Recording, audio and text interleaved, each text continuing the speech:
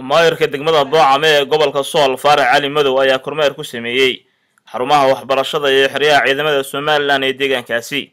Waxaana halkaasi uga xog warramay waxgaradka iyo odayaasha deegaanka oo ku dheeraaday sidii xukuumadda somalilan waxqabad muuqda uga qaban lahayd deegaankaasi. Degmada boocame maamulaha iskuulka cabdulle waxaan maanta idiin soo gudbinaynaa oo si cad idiinku soo gudbinaynaa oo si wax ka qabad leh ugu codsanaynaa wafdida noo timi oo guddoomiyuhu uu ka mid yahay iyo odayaasha kaliya saraakiisha iyo xaqiiqa raadinta boocame arrintaas sidaan u soo dhignay ayaa xaqiiqa. Waxa weeyaan iskuulka kan waxaa dhigata shan boqol oo arday. Anigu aan maamulaha ka waxaa jira iskuullo kale oo degmada ah oo iyaguna intaa ka badan dhigtaan mid sare iyo mid hooseba oo dhexaba.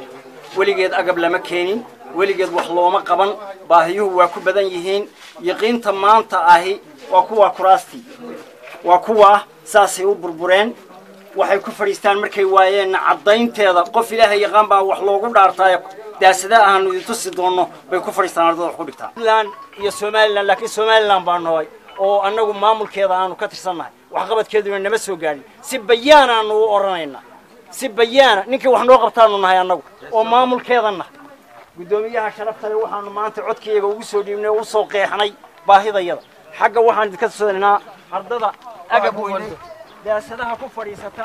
Waad aragtaan xaqiiq weeye xaqiiq qaybta soo horaa la fadhiisiiyaa si ay wax u arkaan qaybta soo horaa la fadhiisiiyaa si ay wax u arkaan.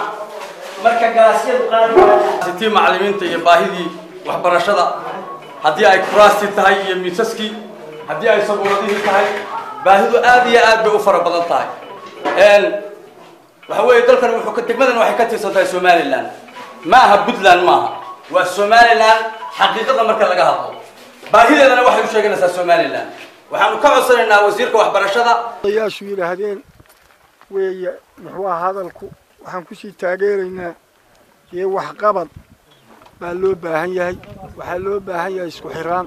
Waxaa loo baahan yahay kalsooni meel walba oo aad baanu idiin salaamaynaa. Waxaanu la hadlaynaa guddiga abaaraha ee fadhigoodu yahay magaalada hargeysa ee jamhuuriyadda somalilan xarunteeda.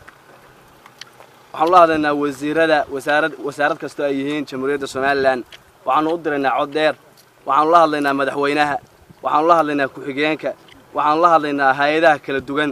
Waxaanu la hadlaynaa cid kasta oo golayaasha golayaasha kala duwan ee dowladda somalilan sidoo kalena guddoomiyaha degmada boocame ayaa kormeeray ciidamada somalilan ee ku sugan deegaanka boocame waxaana ka warbixiyey ciidamada iyo sida ay uga howlgalaan deegaanka taliyaha ciidankaasi axmed jaamac cartan tuuri iyo qaabka uu yahay waxay inoo muuqanaysaa degmada boocame ciidankii inuu diyaar yahay heegana u yihiin inay gutaan waajibkooda qaran ee ka saaran waddankooda iyo qaranka somalilan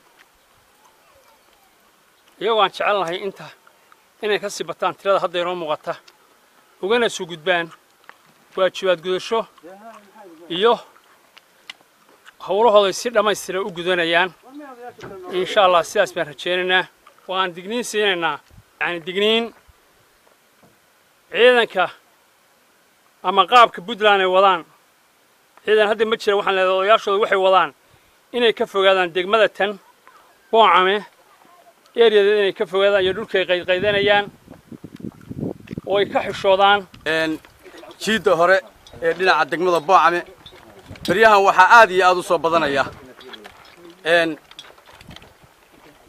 Daandaansi ay wadaan waxa weeye wasiirada maamulka puntland oo ay degmada boocame ku soo cagabadiyeen. Waxaan leennahay aan ilaalinno daris wanaagga أنا إلانين وشرفته وحوي ديجان كان وديجان سومالي لانا تجمد أبو عمي وسومالي لأن سومالي لأن بكه بكه والقشة مامل كذي بكرد سن عيدا كذي هذا كسان بتشوجا وحنو إلانين لنا عبد الرحمن علي الدعالي هريال تي في لاس عنط